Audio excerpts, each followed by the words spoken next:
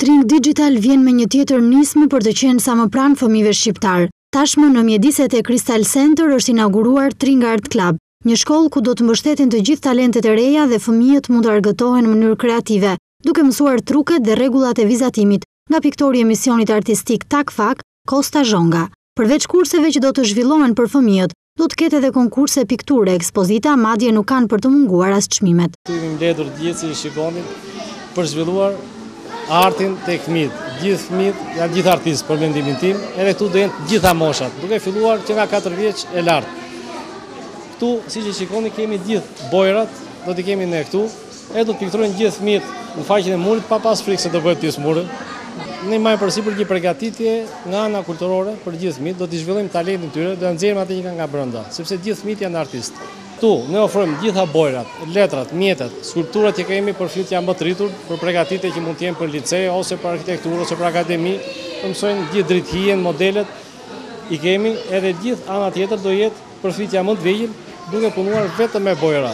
E teksa falë suksesit dhe interesit të jashtëzakonshëm që fëmijët kanë treguar për emisionin Artist Tak Fak, mbërritëm te kjo nismë e re e Tring Digital dhe çelja e Tring Art Club. Tring Digital nuk ndalet me kaq. Shumë shpejt do të fillojë transmetimin një kanal i ri për fëmijë, i cili do të shtojë dhe plotësojë programacionin e munguar për fëmijët e të gjitha moshave në ekranin shqiptar. Emisioni i parë i këtij sezoni i Artist Tak Fak do të shfaqet premierë në Tip TV, kanali më i ri dedikuar fëmijëve shqiptarë në platformën Tring Digital, që do të nisë transmetimin e programacionit këto ditë.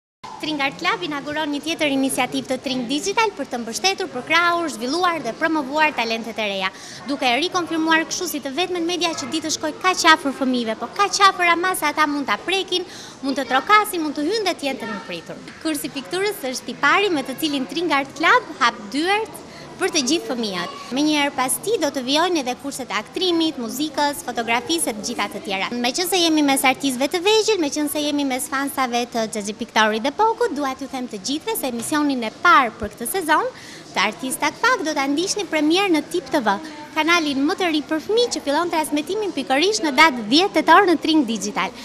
Orari mbetet i pandryshuar, ora tetëmbëdhjetë është gjithmonë ora për të krijuar. Por le të rikthehemi te Tring Art Club. Nën drejtimin e Kosta Zhongës, fëmijët do të marrin leksione mbi pikturën dhe artin e të vizatuarit. Ata do të kalojnë kohë të këndshme dhe do të nxisin fantazinë, si dhe aftësitë e tyre krijuese në Tring Art Club, ku tashmë regjistrimet kanë filluar. Gjithashtu, fëmijët do të kenë mundësinë të takohen me figura të njohura të artit shqiptar, si dhe të bëjnë vizita nëpër ateliet e piktorëve apo institucionet e tjera artistike, ku mund të prekin nga afër punën e muzikantëve, balerinëve, stilistëve, këngëtarëve dhe aktorëve. Tring Art Club do të organizojë çdo muaj evente të ndryshme, sikundër pritet të jenë ekspozitat me punët e vetë fëmijëve, apo edhe takimet me shkrimtarë, piktorë, regjizorë dhe emra të njohur të skenës dhe ekranit, të cilët do të ftohen të vizitojnë Tring Art Club. Promovimi i talenteve të reja të Tring Art Club do të realizohet përmes hapësirave televizive në kanalet e Tring Digital, siç janë Tip TV dhe Tring Tring.